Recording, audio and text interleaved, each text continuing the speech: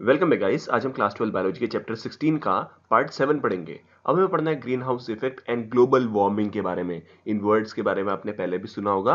बस इन्हीं वर्ड्स को हमें यहाँ पे समझना है।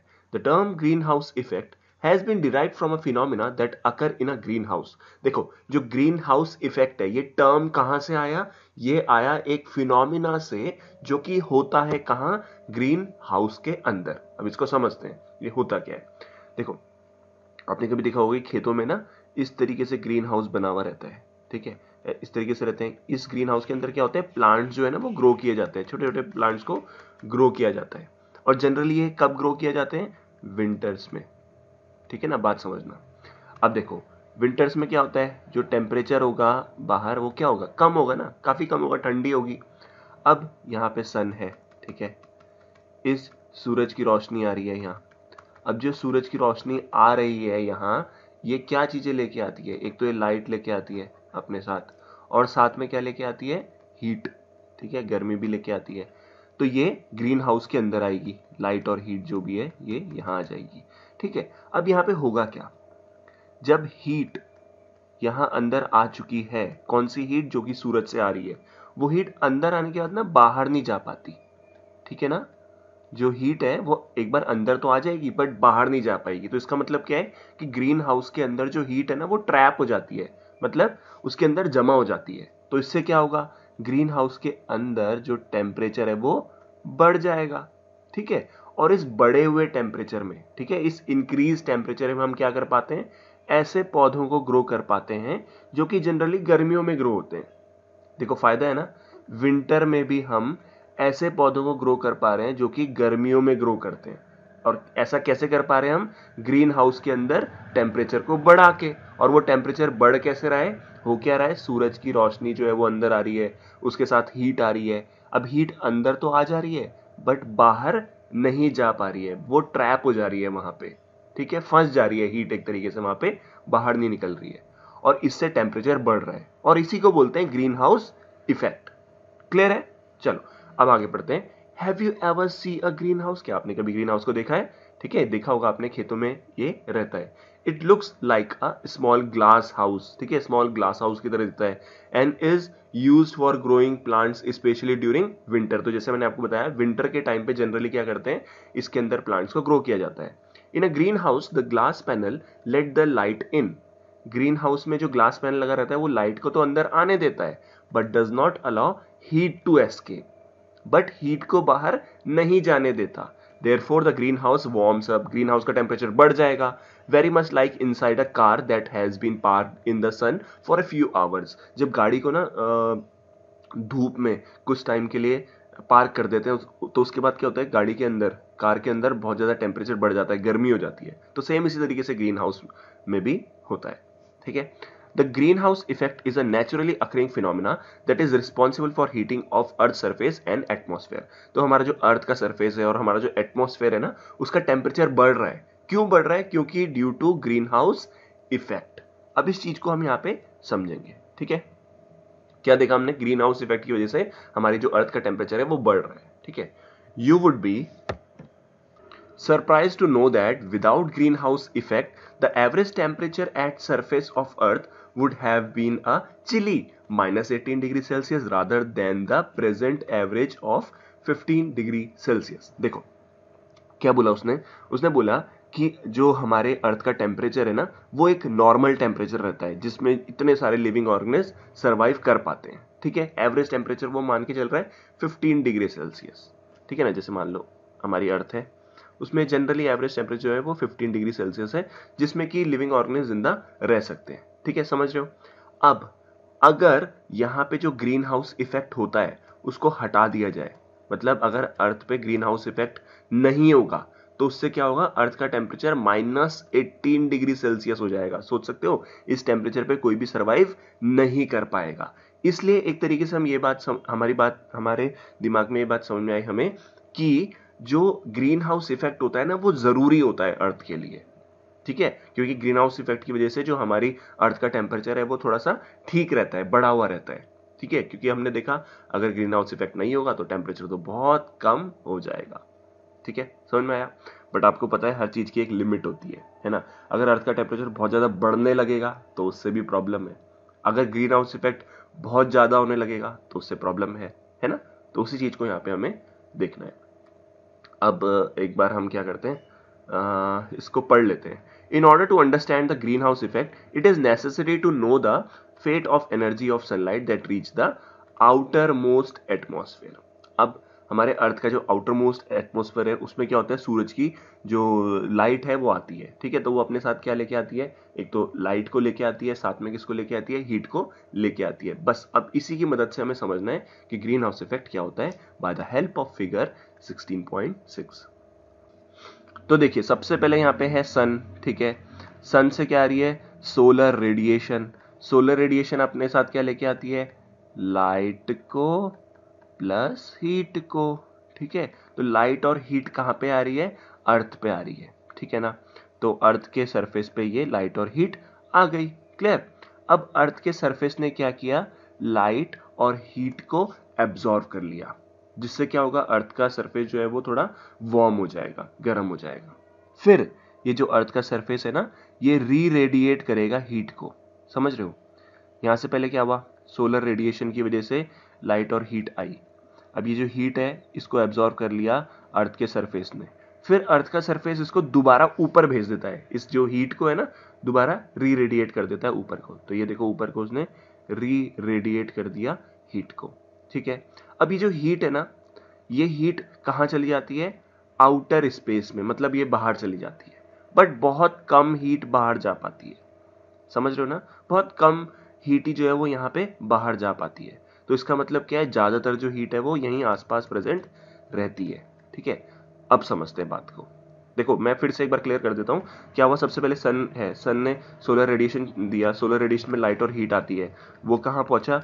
अर्थ के सरफेस पे पहुँचा। अर्थ के सरफेस ने हीट को एब्जॉर्व किया और फिर उसको रीएमिट कर दिया। ऊपर भेज दिया दोबारा। तो फिर क्या हुआ? बहुत कम अमाउंट ऑफ़ हीट जो है वो एस्केप हो गई। वो स्पेस में चली गई। ठीक है? वापस। बट अब यहाँ पे ग्रीन हाउस इफ़ेक्ट की बात आती है। तो देखो यहाँ पे आपको दिख रहा है ग्रीन हाउस गैसेस ठीक है? ये जो ग्रीन हाउस गैसेस होती हैं, ये क्या करती हैं, जो ये अर्थ सरफेस हीट को रीएमिट करती है ना, ठीक है ना? अर्थ की सरफेस क्या करती है? हीट को री एमिट करती है ऊपर को। उसको, उस हीट को ये ग्रीन हाउस गैसेस एब्जॉर्व कर लेती है। समझ में आया? क्या होगा? अर्थ की सरफेस जो है, जब इस हीट को रीएमिट करेगी ऊपर को तो इस हीट को एब्जॉर्व कौन कर लेगा? ग्रीन हाउस गैसेस क्लियर और ग्रीन हाउस गैसेस इसको आउटर एटमॉस्फेयर में नहीं जाने देगी। ठीक है ना? ग्रीन हाउस गैसेस जो है, वो हीट को आउटर एटमॉस्फेयर में नहीं जाने देगी, बल्कि वो खुद उसको एब्जॉर्व कर लेगी। तो इससे क्या होगा? इससे होगा ये कि अर्थ के आसपास का जो टेम्परेचर है या अर्थ के सरफेस का जो टेम्परेचर है, वो बढ़ना शुरू हो जाएगा। ठीक है ना? समझ रहे हो ना? सन ने हीट और लाइट दी। मैं बार बार रिपीट तो नहीं कर रहा। ठीक है हीट और लाइट दी। हीट जो है वो अर्थ के सरफेस ने एब्जॉर्व करा। अर्थ के सरफेस ने उसको रीएमिट कर दिया। बट लेकिन बहुत कम ही हीट जो है वो बाहर जा पाती है। ज़्यादातर हीट को कौन एब्जॉर्व कर लेता है? ग्रीन हाउस गैसेस ठीक है ना? और ये ग्रीन हाउस गैसेस उसको एब्जॉर्व करने का फिर क्या करती है? दोबारा नीचे को रीएमिट करती है। ठीक है ना? दोबारा नीचे को रीएमिट करती है अर्थ के सरफेस पे। फिर अर्थ का सरफेस फिर से एब्जॉर्व करता है। हीट को, फिर दोबारा ऊपर छोड़ता है, फिर ग्रीन हाउस गैसेज उसको एब्जॉर्व करती है। तो इस तरीके से कंटिन्यूसली ये चलता रहता है, जिससे क्या होता है अर्थ का टेम्परेचर बढ़ जाता है। क्लियर चलो, अब हम इसी चीज़ को पढ़ेंगे नीचे। Clouds and gases reflect about one fourth of the incoming solar radiation तो जो इनकमिंग सोलर रेडिएशन है, उसका वन फोर्थ पार्ट रिफ्लेक्ट कौन कर देता है? क्लाउड्स और गैसेस ठीक है? And absorb some of it और कुछ जो रेडिएशन है उसको एब्जॉर्व कर लेता है। But almost half of incoming solar radiation fall on earth surface, heating it while a small proportion is reflected back. तो इससे हमें क्या पता चला कि जो सोलर रेडिएशन आ रही है, उन सोलर रेडिएशन का जो ज़्यादातर पार्ट है, वो यूज़ हो जाता है अर्थ के सरफेस को हीट करने में। बल्कि जो छोटा सा पार्ट रहता है हीट का वही रिफ्लेक्ट बैक हो पाता है। है ना? बहुत सारा जो जो भी सोलर रेडिएशन आई है, उस सोलर रेडिएशन का बहुत कम ही पार्ट रिफ्लेक्ट बैक हो पाता है। ज़्यादातर पार्ट क्या हो जाता है? एब्जॉर्ब हो जाता है। ठीक है? यही हमने देखा था, जिसकी वजह से अर्थ का टेम्परेचर बढ़ रहा है। Earth surface reemit heat in the form of infrared radiation but part of this does not escape into space as atmospheric gases carbon dioxide methane absorb a major fraction of it जैसे मैंने आपको क्या बताया था ये अर्थ का Surf, अर्थ था, ठीक है? अर्थ पे क्या हुआ? यहाँ पे सोलर रेडिएशन आई थी। सोलर रेडिएशन आने के बाद क्या हुआ कि जो अर्थ का सरफेस है, उसने उसको एब्जॉर्ब कर लिया था सोलर रेडिएशन को। फिर इन सोलर रेडिएशन को वो रीएमिट करते हैं ऊपर को, दोबारा स्पेस की तरफ़। बट वो एस्केप मतलब बाहर नहीं जा पाती है ये जो हीट है, जो ये ऊपर को हीट रीएमिट हो रही है, ये ऊपर नहीं जा पाती है, क्योंकि यहाँ पे क्या है ग्रीन हाउस गैसेज होती है। ग्रीन हाउस गैसेज क्या करती हैं? इस हीट को एब्जॉर्ब कर लेती है। ठीक है ना? The molecules of this gases radiate heat energy and a major part of which again come to earth surface, thus heating it up once again. तो ये जो ग्रीन हाउस गैसेस थी, इन ग्रीन हाउस गैसेस ने पहले heat को absorb किया। उसके बाद दोबारा ये ग्रीन हाउस गैसेस क्या करती हैं? इस हीट को नीचे मतलब अर्थ के सरफेस पे री एमिट कर देती हैं। तो ये एक साइकिल चल रहा है ना कंटिन्यूस और इस साइकिल की वजह से क्या होता है? अर्थ का टेम्परेचर बढ़ता है। This cycle is repeated many a times the above mentioned gases अब यहाँ पे जनरली ग्रीन हाउस गैसेस कौन सी होती है? Carbon dioxide methane are commonly known as green house gases because they are responsible for green house effect तो ये जो गैसेज है ग्रीन हाउस इफ़ेक्ट के लिए रिस्पॉन्सिबल है। और ग्रीन हाउस इफ़ेक्ट क्या होता है? जहाँ पे अर्थ का टेम्परेचर धीरे धीरे बढ़ना शुरू हो जाता है। उसी को बोलते हैं ग्रीन हाउस इफ़ेक्ट बस इसमें एक चीज़ आपको ध्यान रखनी है कि अर्थ का सरफेस जो ये री रेडिएट कर रहा है ना हीट को, ये किस फॉर्म में कर रहा है? इंफ्रारेड फॉर्म में। ठीक है? इंफ्रारेड फॉर्म में इसको री रेडिएट करता है अर्थ का सरफेस हीट को। फिगर 16.7 में दिखा रखा है relative contribution of various green house gases to total global warming देखो ग्लोबल वार्मिंग क्या होता है कि अर्थ का टेम्परेचर जो है वो बढ़ रहा है धीरे धीरे इंक्रीज हो रहा है। क्यों? ग्रीन हाउस इफ़ेक्ट की वजह से। और ग्रीन हाउस इफ़ेक्ट क्यों आ रहा है? ग्रीन हाउस गैसेस की वजह से। तो एक चार्ट बना सकते हैं हम इस तरीके से।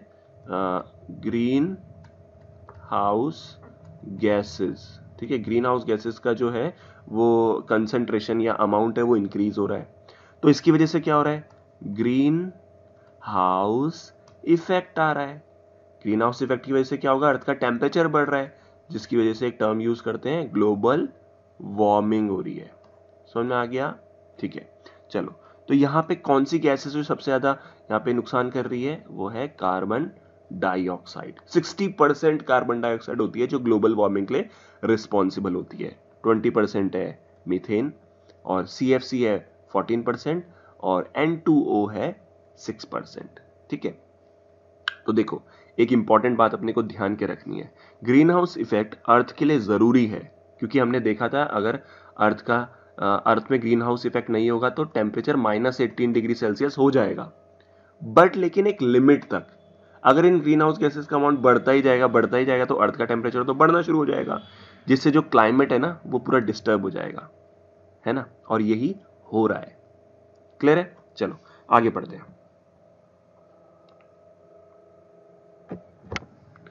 Increase in the level of greenhouse gases has led to considerable heating of earth. Leading to global warming तो जैसे मैंने आपको बताया ग्रीन हाउस गैसेस का अगर लेवल बढ़ता जाएगा तो उसकी वजह से क्या होगा? जो हीट अर्थ है ना, वो हीट होती जाएगी, जिसकी वजह से ग्लोबल वार्मिंग होगी।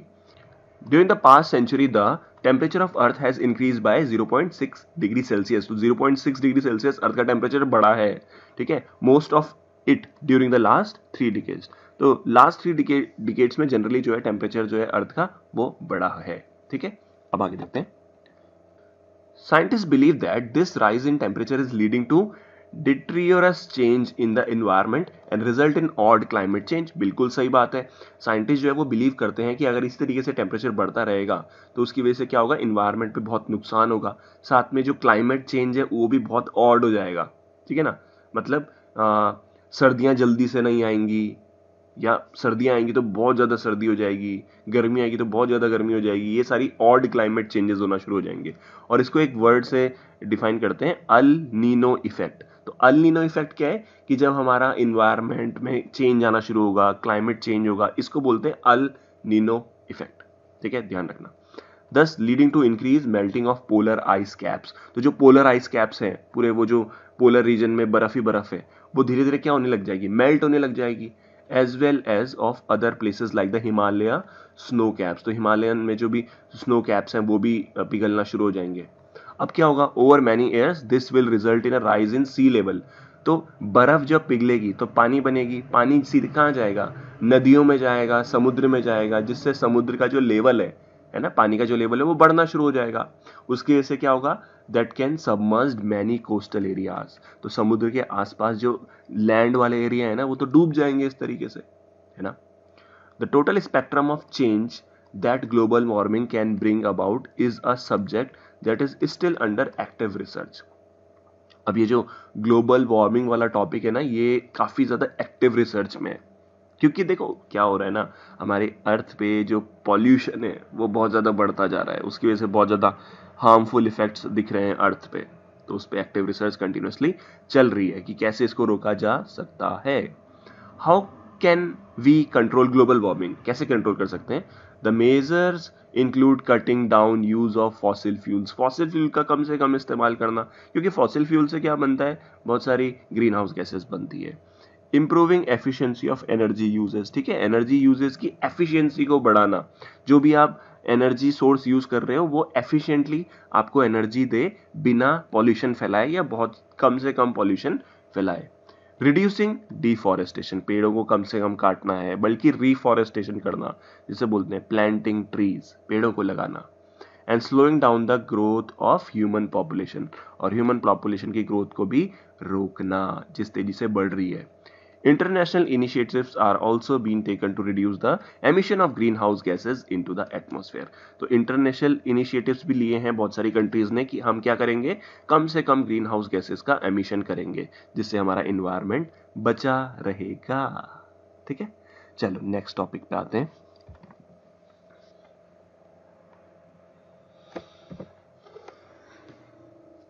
नेक्स्ट टॉपिक है ozone depletion in the stratosphere तो देखो स्ट्रेटोस्फेयर एक लेयर होती है एटमोस्फेयर की, वहाँ पे क्या मिलती है, हमें ओजोन मिलती है। और आपको पता है ओजोन हमारे लिए काफ़ी ज़्यादा यूजफुल होती है है ना? क्योंकि वो सन से आने वाली अल्ट्रा वायलेट रेज को रोक देती है। ठीक है? इसके बारे में पढ़ते हैं। ओजोन का फॉर्मूला क्या होता है? ओ थ्री ठीक है? चलो। You have earlier studied in the chemistry text book of class eleventh about bad ozone bad ozone के बारे में आपने पढ़ा होगा। Formed in the lower atmosphere जिसे बोलते हैं ट्रोफोस्फेयर तो देखो जो लोअर एटमोस्फेयर वाली लेयर है, वो है ट्रोफोस्फेयर तो ट्रोफोस्फेयर पे एक हमें मिलती है बैड ओजोन जो कि क्या करती है? That harms plants and animals plants और एनिमल्स को ये हार्म करती है। ध्यान रखना बैड ओजोन कहाँ पे मिल रही है? ट्रोफोस्फेयर पे मिल रही है। गुड ओजोन कहाँ पे मिल रही है? स्ट्रेटोस्फेयर पे मिल रही है। ठीक है? There is a good ozone also This ozone is found in the upper part of the atmosphere called the stratosphere and it act as a shield absorbing ultraviolet radiation from the sun. तो सूरज से आने वाली ultraviolet radiation को ये stratosphere absorb कर लेती है UV rays are highly injurious to living organisms है ना इससे बहुत ज़्यादा नुकसान हो सकता है लिविंग ऑर्गनिज को किससे यूवी रेज से since DNA and protein of living organisms preferentially absorb UV rays तो जो डीएनए होता है, जो प्रोटीन होता है ना, वो यूवी रेस को एब्जॉर्व करता है। तो यूवी रेस क्या करती है? हाईली इंजीरियस होती है मतलब डीएनए को और प्रोटीन को नुकसान पहुंचाती है। बट लेकिन जो ओजोन है, वो इस यूवी रे को एब्जॉर्व कर लेती है, जिससे यूवी रेस जो है, वो हमारे अर्थ तक मतलब उतना ज़्यादा अमाउंट में नहीं पहुँच पाती है। And its high energy breaks the chemical bond within these molecules तो जो यूवी रेस की हाई एनर्जी होती है, वो हाई एनर्जी क्या करती है? डीएनए के बॉन्ड को तोड़ती है प्रोटीन्स में जो बॉन्ड्स है उसको तोड़ती है और उससे नुकसान करती है। The thickness of the ozone in a column of air from the ground to the top of the atmosphere is measured in a term of Dobson unit तो डॉप्सन यूनिट क्या है? एक टर्म है जिसकी मदद से हम मेजर करते हैं थिकनेस ऑफ़ द ओजोन ठीक है? ध्यान रखना ओजोन की जो थिकनेस है वो किसमें मेजर करी जाती है? डॉप्सन यूनिट में। क्लियर ग्राउंड से लेके टॉप ऑफ़ द एटमोस्फेयर तक। ठीक है? जैसे ग्राउंड है ग्राउंड से ये टॉप ऑफ़ द एटमोस्फेयर है, ठीक है? तो इसके बीच में ओजोन की थिकनेस कितनी है? ये करते हैं डी यू से measure Dobson unit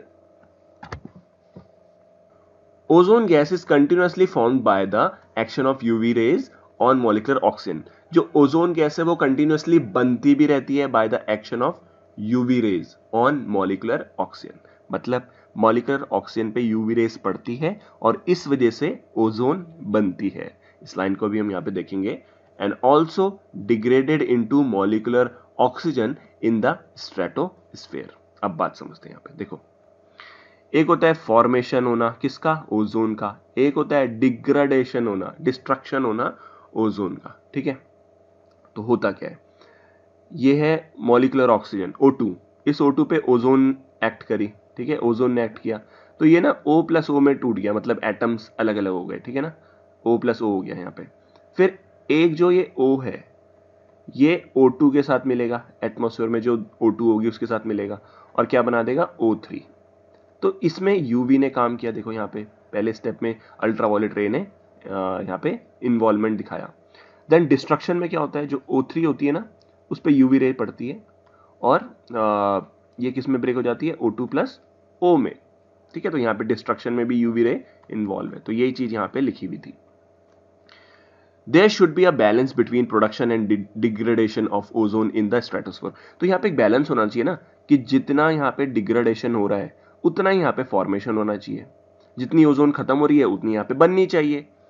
Of late the balance has been disrupted due to enhancement of ozone degradation by chlorofluorocarbon CFC अब ये जो बैलेंस है ना, इस बैलेंस को डिस्टर्ब कर दिया किसने? एक गैस ने जिसका नाम है सी एफ़ सी क्लोरोफ्लोरोकार्बन ठीक है? इस गैस की वजह से क्या हुआ? फॉर्मेशन तो कम हो रहा है ओजोन का बट डिस्ट्रक्शन बहुत ज़्यादा हो रहा था।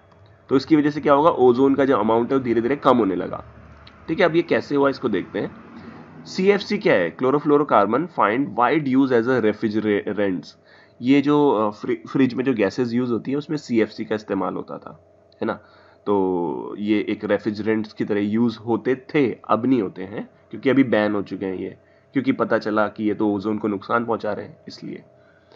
हाँ C F C is discharge in the lower part of atmosphere move upward and reach stratosphere तो सी एफ़ सी जब डिस्चार्ज करी जाती है लोअर पार्ट ऑफ़ एटमोसफेयर में तो धीरे धीरे ये ऊपर जाती है सी एफ़ सी और कहाँ पहुँच जाती है स्ट्रेटोस्फेयर में। अब स्ट्रेटोस्फेयर में क्या होता है? In stratosphere UV rays act on them releasing chlorine atom तो क्या होगा यहाँ पे? सी जो है वो स्ट्रेटोस्फेयर में है, उस पर यूवी रे पड़ेगी। यूवी रे पड़ते ही सी एफ़ सी ब्रेक हो जाएगी और एक क्लोरीन एटम जो है यहाँ से रिलीज़ हो जाएगा। अब ये क्लोरीन एटम कहाँ पे जाएगा? ओजोन पे जाएगा और ओजोन को O प्लस ओ टू में ब्रेक कर देगा। ठीक है? तो सी एफ़ सी इस तरीके से रिस्पॉन्सिबल होती है ओजोन को ब्रेक करने के लिए। Chlorine degrades ozone releasing molecular oxygen तो क्लोरीन क्या करेगा? ओजोन को डिग्रेड कर देगा और उसके बाद एक मॉलिकुलर ऑक्सीजन को यहाँ पे रिलीज़ कर देगा। With these atoms acting merely as catalyst अब ये इंपॉर्टेंट है। देखो जो क्लोरीन एटम है ये क्लोरीन ये क्लोरीन एटम ना कैटलिस्ट की तरह काम कर रहा. समझते हो कैटलिस्ट क्या होता है? कैटलिस्ट ऐसे एजेंट्स होते हैं जो रेट ऑफ़ रिएक्शन को बढ़ा देते हैं. मतलब इस रिएक्शन को फास्ट करते हैं ये कैटलिस्ट ठीक है तो यहाँ पे जो क्लोरीन है वो क्या है? कैटलिस्ट की तरह काम कर रहा है. और एक इंपॉर्टेंट बात क्या होती है? जो कैटलिस्ट होते हैं ना, वो रिएक्शन में इन्वॉल्व नहीं होते. मतलब जैसे ये यहाँ पे क्लोरीन एटम ने इसको ब्रेक कर दिया. बट रिएक्शन जैसी कंप्लीट होती है, उसके बाद ये क्लोरीन एज सच अलग हो जाता है। जो कैटलिस्ट होता है, इस केस में कैटलिस्ट कौन है? क्लोरीन वो ना अलग हो जाता है और फिर ये क्लोरीन जो है, दूसरी रिएक्शन में इन्वॉल्व हो जाएगा। ठीक है? रिएक्शन फिर ये वाली कंप्लीट होगी, फिर क्लोरीन अलग हो जाएगा। फिर ये कोई और रिएक्शन में इस तरीके से इन्वॉल्व होगा। तो देखो क्या लिखा है। Chlorine atoms are not consume in the reaction consume नहीं हुआ, वो अलग से निकल गया। Hence whatever C F C are added to the stratosphere they have permanent and continuous effect on ozone तो आप देख रहे हो, अगर सी एक बार स्ट्रेटोस्फेयर में आ गया तो वो कंटिन्यूस यहाँ पे डिग्रेडेशन ऐसे करता रहेगा। फिर यहाँ पे क्लोरीन निकलेगा, वो क्लोरीन फिर ओजोन को ब्रेक करता रहेगा। तो कंटिन्यूसली यहाँ पे ब्रेकेज चलता रहेगा। All the ozone depletion is occurring widely in the stratosphere तो स्ट्रेटोस्फेयर में जो ओजोन की लेयर है, वो डिप्लीट हो रही है। The depletion is particularly marketed over the Antarctica region but generally जो डिप्लीशन हमें दिख रहा है, बहुत ज़्यादा जो डिप्लीशन दिख रहा है ओजोन का वो कहाँ पे दिख रहा है? एंटार्क्टिका रीजन में दिख रहा है। This has result in formation of a large area of thin ozone layer commonly called as ozone hole ozone hole का मतलब ये नहीं है कि वहाँ पे ओजोन है ही नहीं। ओजोन होल का मतलब ये है कि वहाँ पे जो ओजोन की लेयर है ना, वो बहुत ज़्यादा पतली है, बहुत ज़्यादा थिन है। तो इसको एक बार हम फिगर 16.8 में देख लेते हैं।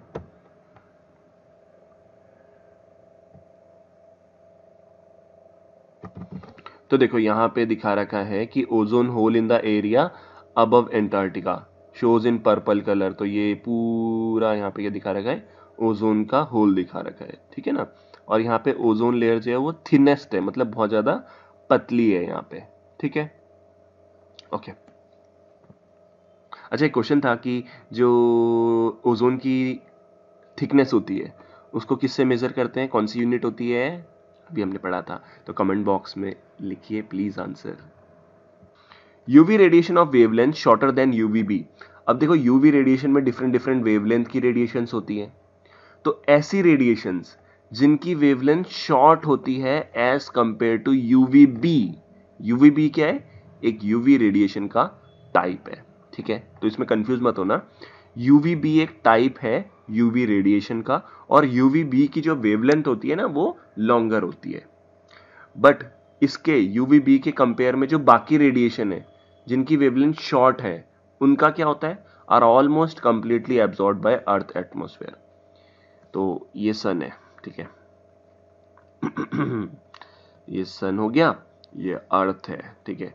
तो इससे जो यूवी रेडिएशन आ रही है, उन यूवी रेडिएशन में से ऐसी रेडिएशन जिनकी वेवलेंथ शॉर्ट है, वो तो जनरली यहाँ पे क्या हो जाती है कंप्लीटली एब्जॉर्ब हो जाती है और वो ना अर्थ तक मतलब प्रॉपरली पहुँच नहीं पाती है, ठीक है? तो वो कुछ खास नुकसान पहुँचा नहीं पाएँगी। Given that ozone layer is intact तो यहाँ पे ओजोन जो है, वो उसको एब्जॉर्व कर लेती है। But UV B damages DNA and mutate mutation में अकर जो यूवी बी रेडिएशन होती है ना, वो डेंजरस होती है। ये डीएनए को डैमेज कर सकती है, जिसकी वजह से म्यूटेशन हो सकता है। ठीक है ना? यूवी बी जनरली होता क्या है कि 90 परसेंट जो यूवीबी है, वो भी एब्जॉर्ब हो जाती है ओजोन से। बट जो 10 परसेंट अर्थ के सरफेस पे आ जाती है यूवीबी रेडिएशन वो नुकसान करती है। It causes ageing of skin ageing कर सकती है स्किन की। डैमेज टू स्किन सेल्स है ना? And various types of skin cancer भी ये कर सकता है। In human eye cornea absorbs UVB radiation तो हमारी आई में जो कॉर्निया लेयर होती है, वो एब्जॉर्ब करती है यूवीबी रेडिएशन को and a high dose of UVB causes inflammation of cornea. और अगर हाई डोज यूवीबी की पहुंचेगी कॉर्निया में तो कॉर्निया में इन्फ्लामेशन हो जाएगा. कॉल्ड स्नो ब्लाइंडनेस तो क्वेश्चन आता है कि स्नो ब्लाइंडनेस किससे होता है? तो आपको बोलना है यूवी बी से होता है. ठीक है? क्वेश्चन आता है. देन कैटरेक्ट भी ये कर सकता है. सच एक्सपोजर में परमानेंटली डैमेज द कॉर्निया और इसकी वजह से कॉर्निया पूरी तरीके से डैमेज हो सकता है। Recognizing the deleterious effect of ozone depletion अब देखो, बहुत सारी जो कंट्रीज़ है, उन्होंने ये चीज़ रियलाइज़ करी कि ओजोन जो है वो खत्म हो रही है। और जिसकी वजह से बहुत बुरे बुरे नुकसान यहाँ पे हमें हो सकते हैं या हो रहे हैं। An international treaty known as Montreal Protocol was signed at Montreal. Montreal कहाँ है? कनाडा में। ठीक है इन 1987 इफ़ेक्टिव इन 1989 तो यहाँ पे क्या है ना मॉन्ट्रियल प्रोटोकॉल में बहुत सारी कंट्रीज़ ने ना साइन किया। क्या साइन किया? To control the emission of ozone depleting substance countries जो है, उन्होंने शपथ ली या उन्होंने साइन करा कि हम क्या करेंगे ना, कम से कम ओजोन डिप्लीशन वाली जो गैसेज है या ओजोन डिप्लीशन वाली जो सब्सटेंस है, उसका कम से कम एमिशन करेंगे। ताकि हमारी जो ओजोन है, वो बची रहे। ठीक है? Subsequently many more efforts has been made and protocol has laid down defined road map तो जो प्रोटोकॉल का मेन मकसद था मकसद था वो अब रोड मैप पे आ चुका है। मतलब वो इफेक्टिवली काम करने लगा था। जिसकी वजह से क्या हुआ? कंट्रीज़ जो है बहुत सारी उन्होंने ना इस आ, जो ओजोन को खराब करने वाली गैसेज हैं उसका कम से कम इस्तेमाल करना शुरू कर दिया। हमने ऊपर एक गैस के बारे में पढ़ा था जो ओजोन के डिप्लीशन में इन्वॉल्व थी जो कि थी CFC तो यहाँ पे लिखा भी है separately for developed and developing countries तो डेवलप्ड और डेवलपिंग कंट्रीज़ के लिए जो ये डिफाइंड रोड मैप था ना थोड़ा अलग अलग था for reducing the emission of C ताकि सीएफसी का कम से कम इस्तेमाल किया जा सके, है ना? And other ozone depleting chemicals और ऐसे केमिकल्स का भी कम से कम इस्तेमाल किया जाए, जो ओजोन को नुकसान पहुँचा रहे हैं। तो ये ये टॉपिक ख़त्म हो चुका है। नेक्स्ट टॉपिक नेक्स्ट वीडियो में करेंगे। And till then thank you so much bye bye